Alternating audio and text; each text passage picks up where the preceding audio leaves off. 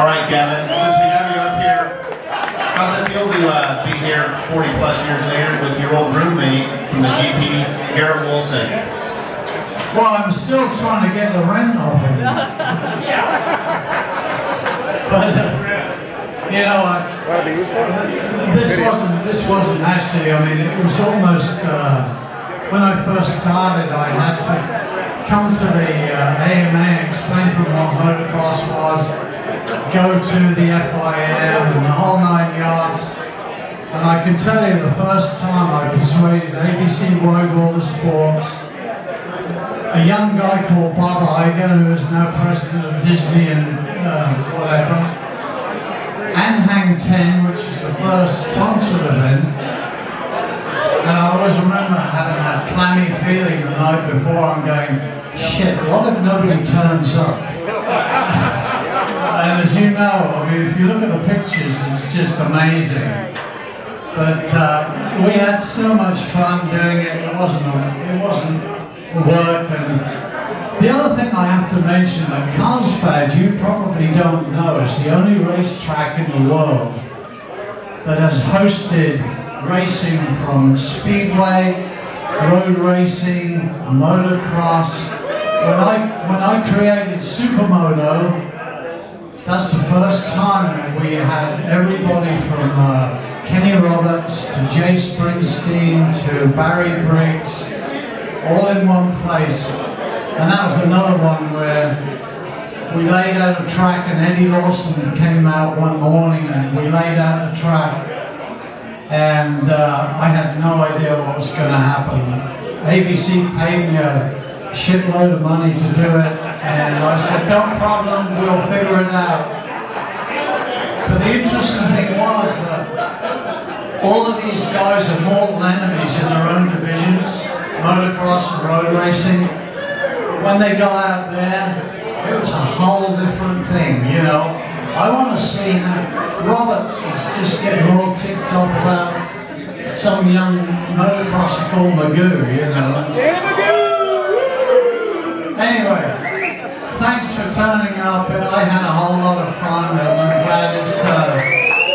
and the only thing, I, the last thing I will say, the proudest thing was when I drove down the freeway and turned left on Palomar Airport Road there was a green Caltrans sign in 1971 that said motocross, first left. Awesome, thank you, Gavin. And you know, uh, in addition to having Gerrit Wolsink here, which is a rarity, Gerrit, we haven't seen you in many, many years, maybe almost 10 years, I think, here. We are honored that Mr. Motocross himself, Torsten Hallman, has joined us here today. Torsten, great to see you. We you. And uh, Torsten, you, you only raced Carlsbad a couple times, right?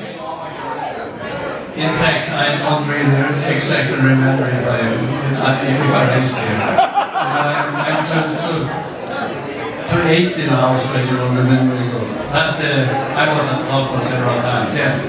And, you know, I just want to continue with what Gavin said, you know, and put on a sign on the freeway where it says that motocross. When I came to the, to the passport control first time in the United States, I said, what, what are you going to do here in, in the States? And, and I said, I'm going to race motocross. Motocross, I said, what is that? Yes, you can, can you spell it? Yes, I spelled motocross and they, they put the word motocross into the computer. No, no motocross. The word was not in the computer in the United States at that time. So this means it came a long way until they put up a sign with motocross on the freeway, right?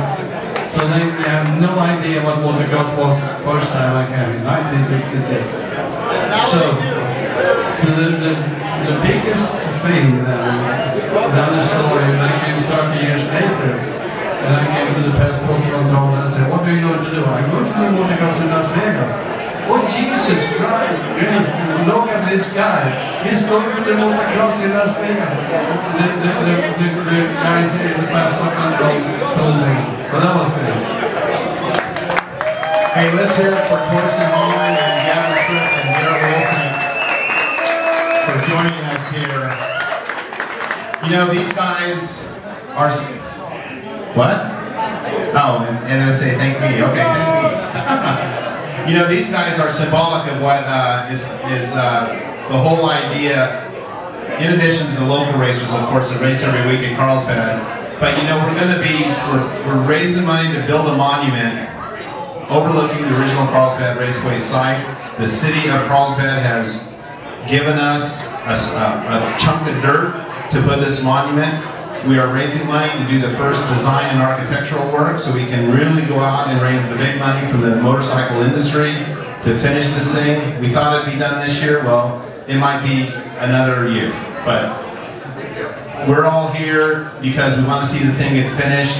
Everything these guys from all over the world come to race means other people from all over the world will come to enjoy this monument when it's finished uh, someday. And, you know, the project got started last year, and we had a couple of key people, one key person who I know is here right now, who kickstarted it with a donation of almost $3,000, which we're almost at $7,000 now, which is Kevin Hill from HG Fenton Company. Kevin, are you here? Kevin, come up here. Come on.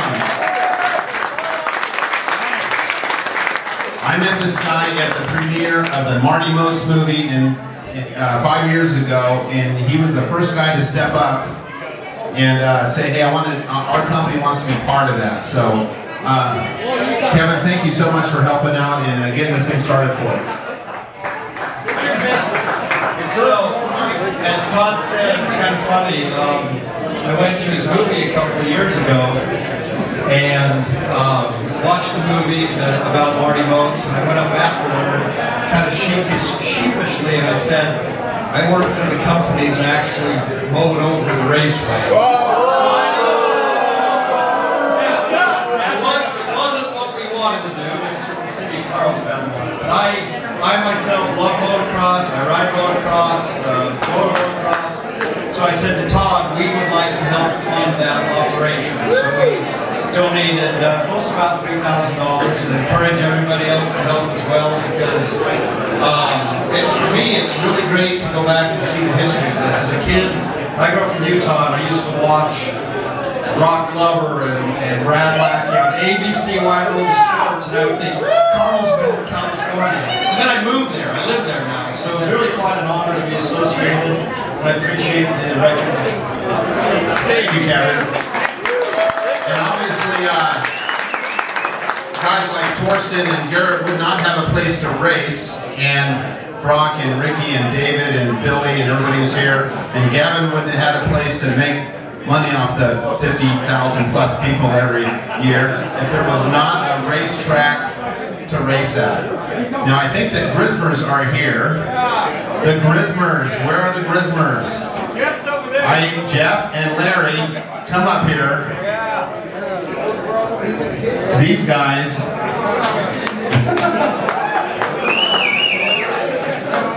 and Gavin just informed me that Gavin Trippe and Larry Grismer never had a contract.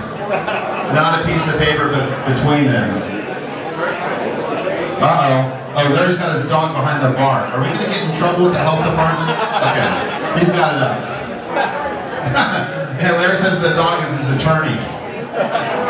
Larry and Jeff, uh, you know, this party wouldn't be possible if there was no racetrack 40 years later to have a memorial about, uh, a party about. And uh, you guys are here supporting all these fun people that had a, really memorable time there. And uh, obviously we're trying to uh, make this monument happy. Larry, what do you want to say to all these fine folks here at, at Carlsbad? With all due respect to the dignitaries we have from motocross, I love you guys, I respect what you've done for the racetrack. You brought ABC in, but without you guys out here, the guys who came in every week and paid their two dollars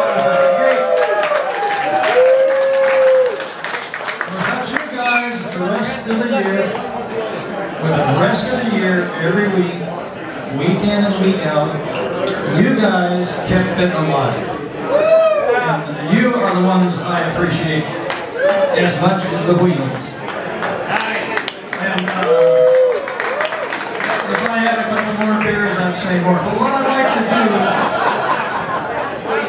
I would like to, at this point, I would like to match Gavin's contribution.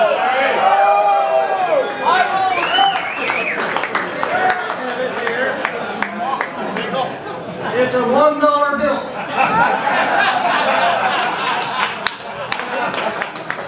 And I would like to match the first half of the other man's contribution, which is fifteen hundred dollars.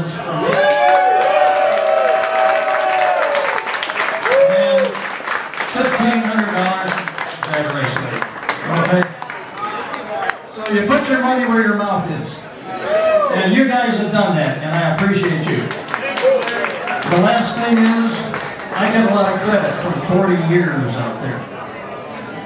The last 15 years, I spent up with you guys. I mean, 500 assholes every weekend, it drives you crazy.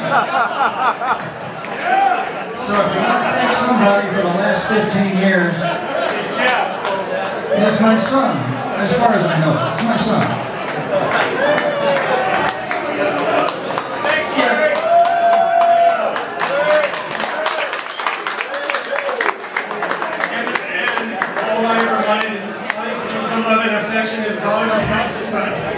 To instead I go Raceway. Yeah. We always debated whether it was the last 20 or the last 15, but it doesn't really matter because uh, one of the best compliments I ever got as a son taking over a family business was one day Frank Thomason uh, Racing Enterprises Motocross, Frank Thomason came to me very frustrated one day because he wanted to make a change to the motocross track and he knew I wouldn't let him do it. And he stamped his feet and said, well, who's in charge, you or your dad? Because you won't let me do it. And I said, well, my dad's not here, so yes, I'm in charge. And he said, but your dad told me I could do it. I said, well, do. So we did it. So growing up at the raceway, moving into owning the raceway, everything was a, a privilege and an honor. And as my dad said, without you guys, it wouldn't have kept going. This was the cream of the crop. This is what made it, made it famous and got in from ABC and, and was really cool. And you guys were out there every week, and that's we really appreciate. And along with that, there's two people here that should be recognized, and that's Bob Morales and John Taylor. John, I see John Taylor right here. He ran, and then, uh, Bob Morales is back there in a tan-colored shirt. When things became, when things became uh, adversarial to the state and I couldn't keep everything going at the raceway, the drag racing, the motocrosses, John Taylor me Bob Morales. and Bob took over promoting the motocrosses until John took it over. And without those guys, we would have had to quit motocross about eight years sooner. So shake their hands and thank them too.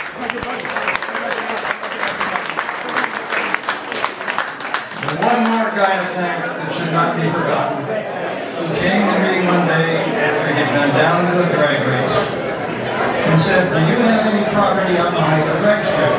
And I said, yeah, there's about 50 acres out there. He said, could we come down and see about laying out a motocross track?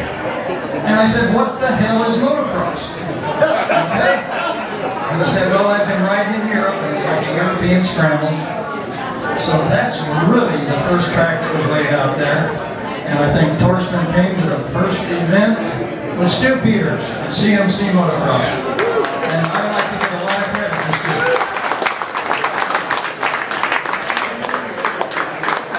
Okay, well, you guys, thanks. Every, we're gonna we're gonna pull some uh, raffle tickets here. Here, can you stay for a couple minutes and pull a pull a number a number for us? Okay, we're gonna give away a few things with your raffle tickets. Get them out.